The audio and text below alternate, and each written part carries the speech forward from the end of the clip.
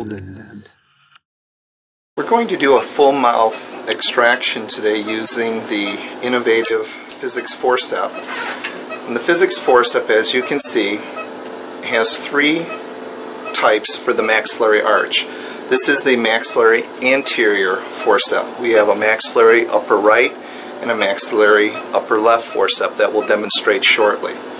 And what we want to do is simply engage the beak, which is the flat portion, onto the lingual surface or palatal surface of the tooth as deep uh, into the tissue as you can. You'd like to engage a couple millimeters at least.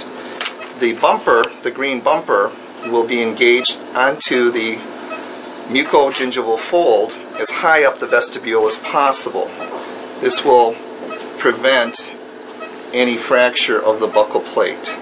So what I'm simply doing is engaging the lingual surface of the tooth, engaging the bumper onto the facial aspect, and I'm simply going to, I'm only using a couple fingers here in my thumb, and I'm simply rotating my wrist. Rotating my wrist and rotating my wrist very, very slowly. There's no bicep forces here. I'm not using a lot of arm strength.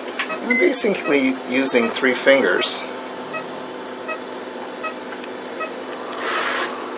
And the tooth is moving, moving, and it just popped.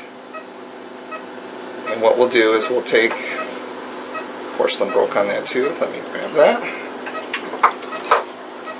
And I'm just taking a conventional forcep, gauging the tooth. The tooth is now loose.